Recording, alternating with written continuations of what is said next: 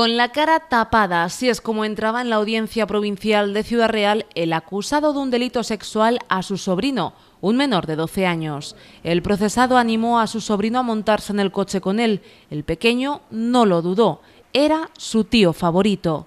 Minutos después le preguntó si quería aprender a conducir, le sentó encima de sus piernas y con los pantalones bajados le agredió sexualmente. Hoy el acusado ha reconocido los hechos ha manifestado su arrepentimiento y hemos entendido, porque así costaba que estaba embriagado, incluso la propia víctima eh, lo manifestó en sus declaraciones.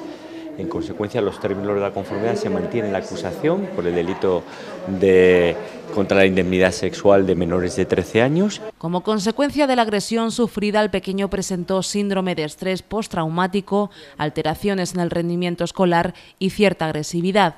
Un niño que tenía un rendimiento escolar, un comportamiento estupendo y a raíz de este episodio sufrió, que fue uno de los elementos que, detectó esta, este hecho, un bajón en su rendimiento, en su cambio de comportamiento eh, de todo tipo y, terminó confesándolo a la madre, que fue la que denunció y puso en marcha la investigación. El menor denunció los hechos dos años después, por temor a que le matara, como ya le había amenazado.